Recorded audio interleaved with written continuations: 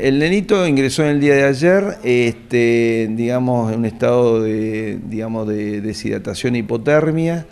Este, ingresó por guardia, lo atendieron los pediatras y lo pasan a la NEO este, para estabilizarlo. Eh, está estable en el día de hoy y por el momento está evolucionando hasta ahora satisfactoriamente. Los cuidados fundamentalmente van orientados a, restablecer parámetros vitales, digamos, desde el punto de vista cardiocirculatorio, respiratorio y el manejo de la hipotermia y la deshidratación.